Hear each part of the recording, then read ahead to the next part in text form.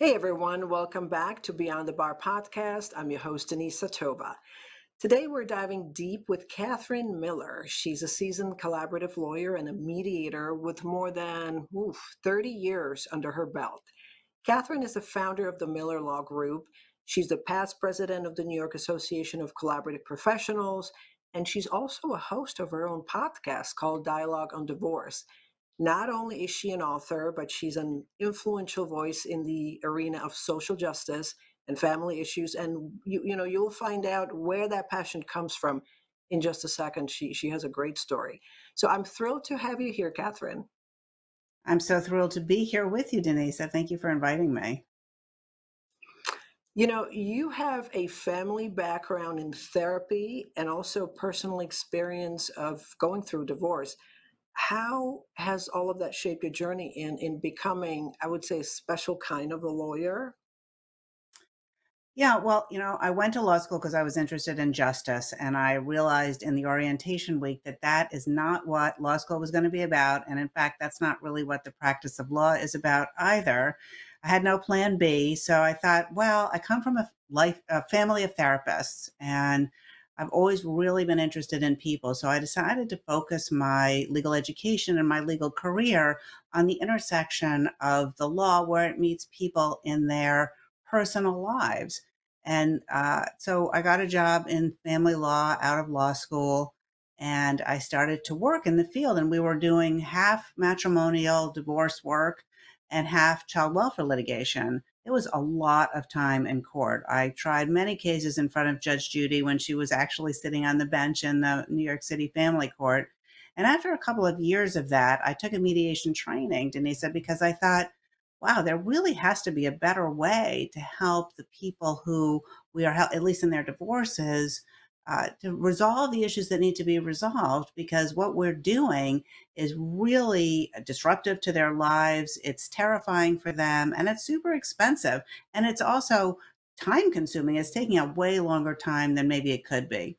So I took the mediation training and I started to try to introduce those mediative ideas of settling based on what was important to the people, their own personal priorities and criteria, rather than maybe legal principles. And there's a lot of overlap, but the emphasis is different. And in every single case, I ran into the same problem. And that problem was the other lawyer. Not that they were bad people or bad lawyers. In fact, we just couldn't get on the same page as to how we were going to settle the cases and what, what we were going to use in order to reach a settlement.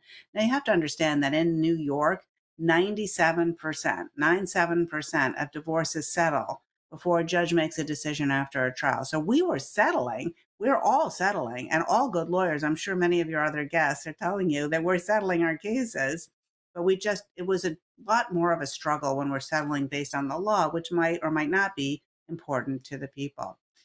Fast forward 10 years, I was getting divorced myself. I had two little children, and I was really quite afraid of what custody litigation might mean for them and for me and for my ex husband. And after that experience, which although we were unable to mediate, we settled in a very collaborative like setting in a conference room and never went to court. Uh, after that experience, I thought, you know, I just can't do this anymore. I uh, and I quit my job and I moved out of New York City to Westchester County. And I looked around for something else to do with my life, and I considered some other things. Uh, I got remarried, I had another child, and I took another mediation training. And I was doing some mediation and some consulting, and someone suggested that I come and take a collaborative divorce training. And I was like, come on, 10 years, same problem, other lawyer. How could this really be any different? And she said, you know, come along and do it anyway. I think you'll like it. And within 15 minutes in this collaborative training, I felt like I had come home, that the lawyers were working together uh, to help the parties reach a resolution based on what was most meaningful to them, to the couple. And I had a guy who'd come in to talk to me the week before. He hadn't yet told his wife they were getting divorced. I literally called him from the train on the way home after the training. I was like, let's do it this collaborative way. And he said, okay. And from that moment on, Denise, that I was like, you know what? I think that this can be done. I think that we can, as lawyers, help people resolve their divorce conflict in a way that is respectful of their dignity and, and focused on their families. And so that's when I founded my firm, and I've been doing it ever since. Well, it sounds like you have built a practice that is consistent with your principles, um, and that is, you know, that is that is absolutely phenomenal. If you were to run into somebody at an event and they're thinking about divorce, and you introduce yourself as a, you know, as, as an attorney, someone who's familiar with the traditional model, I think many people still are. You know, you hire a lawyer, uh, you try to Yeah. negotiate with the other side. It typically has to be an aggressive lawyer. How would you describe, in simple terms, what how collaborative divorce is different than litigating model?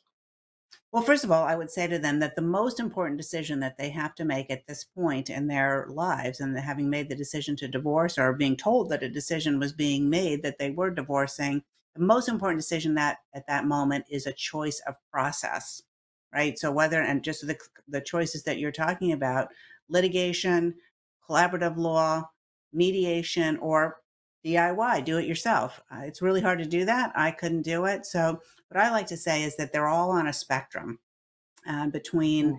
trial, like going to court, hiring lawyers, going through a formal discovery process, which is what we call information sharing in the law, uh, possibly motion practice to deal with issues that come up about information sharing or interim support or parenting and custody issues, and, and going through that whole process and being on the court's calendar and being at the mercy of that calendar, but also of the court system. So your judge could change maybe more than one time throughout that process, throughout the preliminary hearings. Maybe the hearing is bifurcated. Maybe you have a custody hearing separate from the financial hearing. That's very likely to happen. And that it's very hijacking for your life because you're making, you're coming to court when it's convenient for the court, not when it's convenient for you. And not necessarily even convenient when it's it's it's good for your lawyers.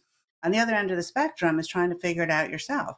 Now, it's really hard to mm. do that when you've been married more than five minutes and you have assets or children or anything because of the emotional overlay. Because uh, marriage is so many things. Is it's a financial partnership, it's a legal relationship, it's an intimate partnership, it's a parenting partnership, there, and all of these things are kind of intertwined together.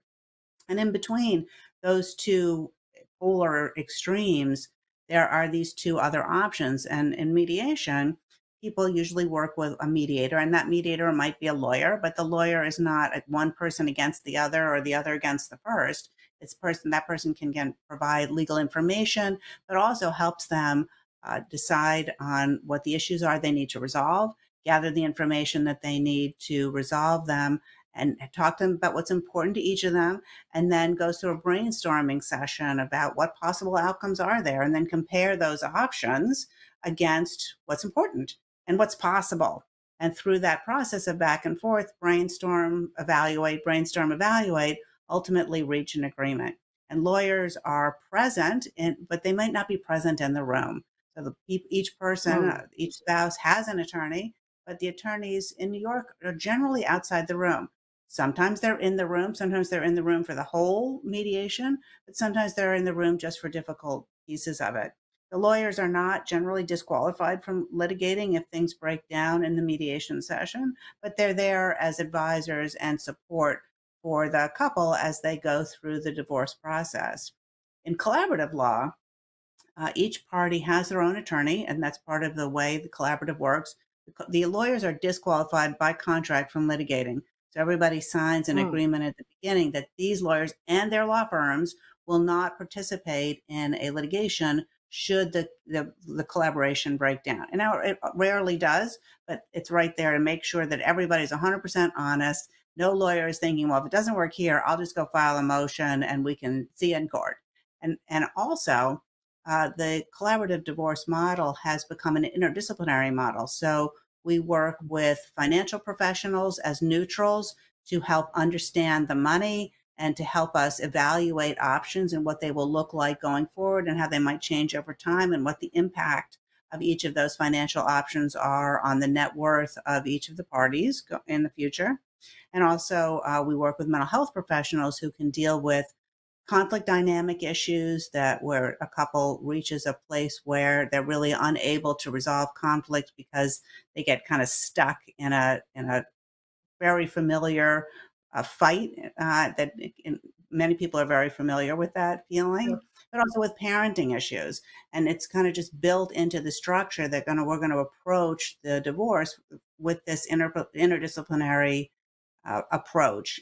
And, and, but we're also going to stay out of court. And so I think it's really clear for people, you know, they're the decision makers in all but the litigation model. They are the people driving the process, but it's various levels of support from DIY, virtually no support, mediation with some support and guidance from the mediator, and the collaborative process, which creates a whole like container around them and allows them to go through the negotiations in a very supported way.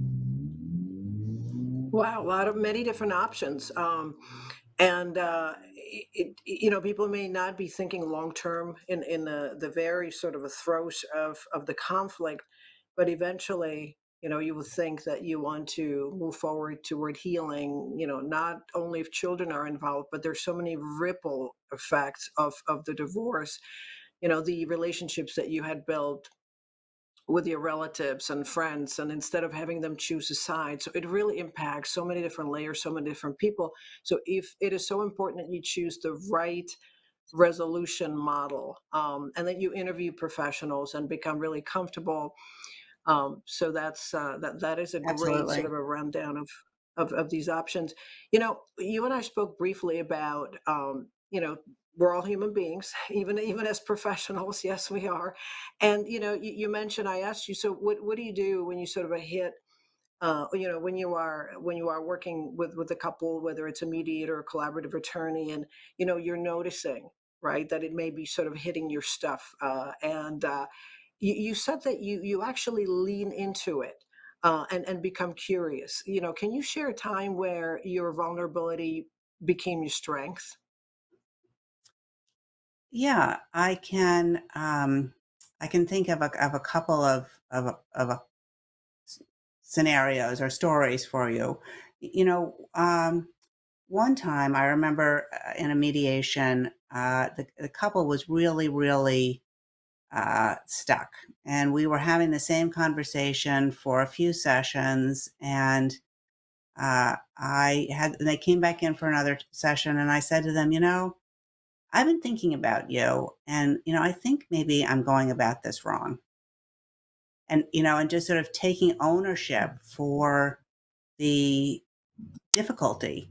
Now, it wasn't just me, you know, but I was a part of it, you know, Denise, and I had been thinking about them. And in my own personal time, I was thinking about this family. And, and so I wanted to tell them that that they had affected me personally and that I thought I could have done something different that would help them. And then we could, that, that allowed us to take a step back and talk about what we could do differently. And they were able to get through it and, and to resolve it. Um, so hmm. that that's that's one thing.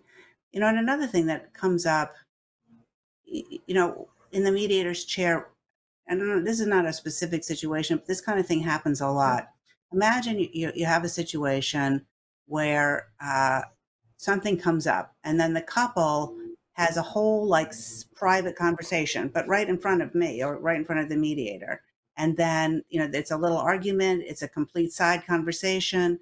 And then uh, they just turn to me and say, all right, you know, let's just move on. And then I think to myself, well, what am I going to do with that? Because this very this this emotional thing just happened here, but I don't know what it was. And now they're telling, but they're also now telling me to move on, and this is their process. So when that happens, you know, what I've found when I, if I say, you know, I really am not sure what to do here, because mm. on the one hand, you just had an emotional conversation, tears were shed, voices were raised, and and it was obviously meaningful to both of you. But on the other hand, you're telling me just to move on. And and I feel hmm. like I don't know what that was. I don't want to move on, but that's still in the room. You know, what should we do?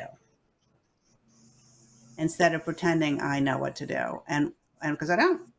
But and usually then wow. Denise they'll they'll tell me a little bit about like what happened, like what that was about and then I feel more comfortable moving on. And and and it's kind of an interesting thing because uh, it, it, I really, just by sharing my own uncertainty in that moment, mm. I feel like it makes it, it's actually safer for them to talk rather than scarier. Yeah, you have a choice to make. You're right. You, you can put on this sort of a facade. Well, you know, okay, let's move on.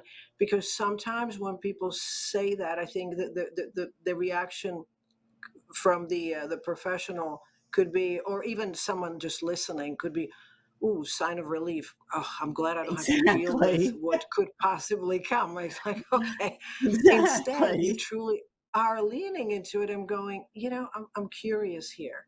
And it's it's the uncertainty of the outcome because you don't know what's coming at you, right? But you're right. Eh, so that's really, you know, I, I get I get so excited about this because that's being vulnerable, being human. And I think people going through this transition, they're already down.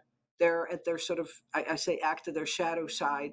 And, you know, they're embarrassed, they feel a sense of shame. And to sort of treat them, you know, like criminals or they're lesser than, it, you know, it, it's just, it just fuels the conflict. So, that is wonderful. You know, I know that you have this deeply rooted interest in social justice.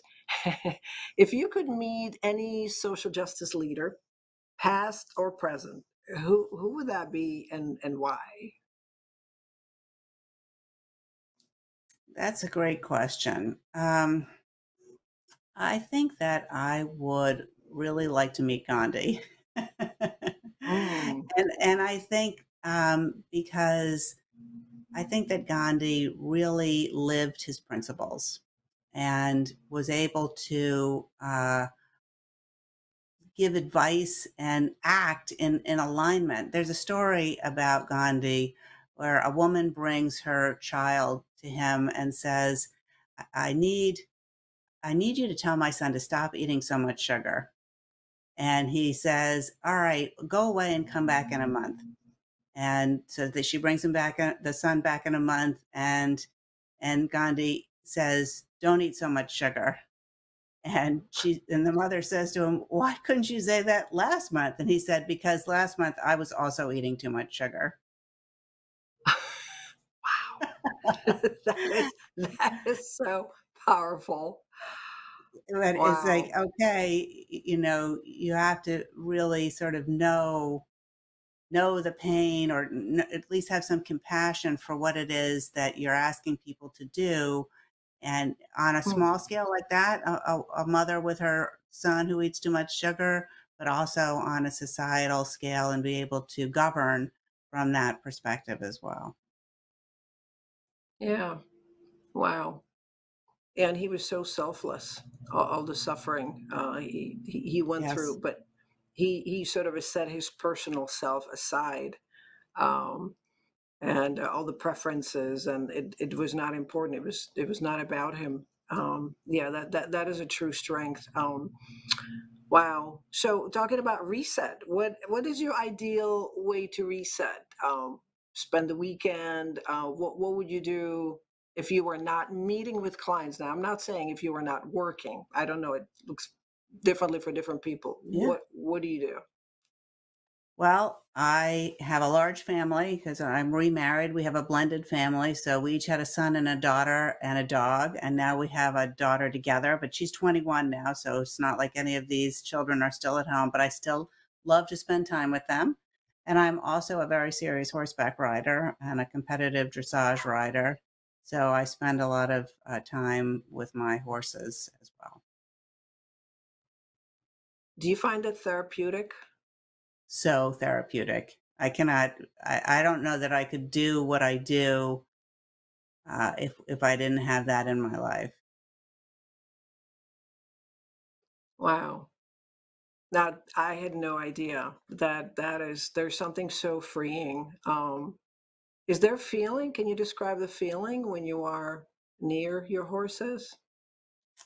Well, you know, there's a, a, few things. One is that horses don't communicate with language. They communicate with, of course, with body language, but also with with energy, if if that makes any sense to you.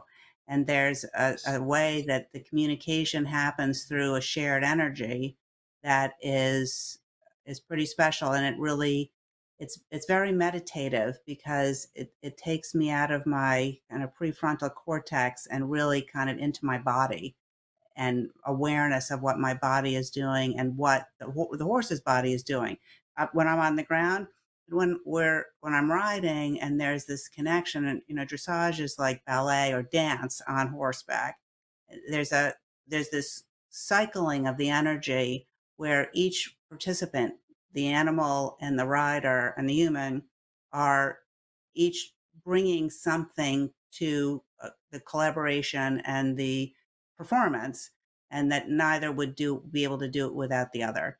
And and of course they're much much much larger than we are so they have to want to do it. They they get interested in doing it as well and that is something that it's really hard to put words to Denisa I am obviously not watching you ride a horse right now, but as you're describing the energy, I am just like even more relaxed. Um, that's uh, wow. That is that is just so wonderful and freeing. Um, so, lastly, Katherine, because I can I can talk to you forever, and you'll be back. I know that we'll have you back. Um, you know, if you were let me let me put a positive spin on it rather than focusing on mistakes. So new incoming practitioners and when i say incoming maybe practitioners who are wanting to get into mediation the collaborative um, try the collaborative model you know i'm sure you've seen your share of mistakes. Um, what advice would you give them um, before before they do that or as they're transitioning into into uh, these models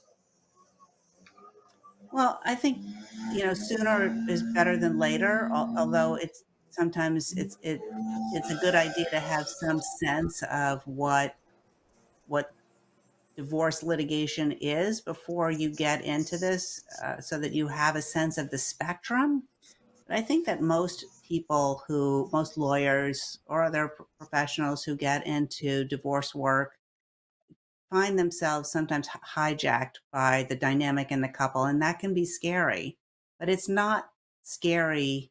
Know, what I sometimes think to myself is no matter how hot the dynamic is in the room, I'm safe. I'm sitting on the chair. I'm breathing. I'm going to go home tonight and have dinner with my family. I'm going to pat my dog. I'm going to go riding in the morning, you know, whatever it is. And that, that, and to stay grounded in who you are and not be so afraid of what that what the ha- what's happening in in for the couple and just and to stay in that humanity and in your own vulnerability of willingness to reach yeah. out as if they were your friends. Now they're not your friends; they're your your clients. They're people that are paying you for help. But that if you think about it that way, then I think it's a lot less scary. That is a great advice. So you're not becoming merged, right? Because it's it's scary. Uh, it doesn't matter how, how many years you've done it. Maybe not scary, but I, it, there is some. There has to be some shift and movement emotionally, as long as you sort of you know what's yours and what's theirs, and and yeah. remembering that you are providing much needed service. Yeah, and you. I mean, you can you feel that happening. When I feel that happening, I feel like, oh, you know, my energy level is going up, my breath is coming faster, maybe I'm clenching my jaw or or whatever. I think, wow, that's telling me something about what's happening in the room. Right? That that I am reflecting back something that's happening in the room and experiencing it physically. And if I say, all right, now I'm going to take a few breaths and I'm going to calm myself down, and calming myself mm-hmm. down actually has the impact of calming down the dynamic in the room. And that if I take that hmm. dynamic through my own my own self, I can calm it or I can rev it up if need be, you know, depending on which way you want to go yeah. with that. And that that alone is having a huge impact without having to have them separate or, you know, get panicky or threatening. Because a lot of lawyers will be like, well, no, I'm going to do this and I'm going to do that and a finger waving and, you know, yeah. all that stuff happens. Like, well, that isn't really going to help. And, and right. if you just relax for a minute, say, well, what should we do here? Is this helpful? you're going to mm-hmm. get their attention a lot faster and a lot more effectively than you start wagging, you know, trying to put it down or squish them or whatever.